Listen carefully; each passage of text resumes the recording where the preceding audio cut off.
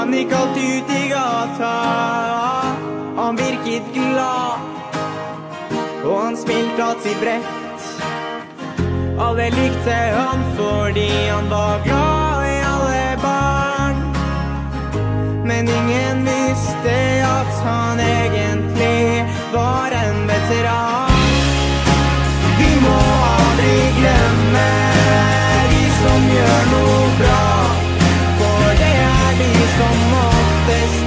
anniversaire. On part.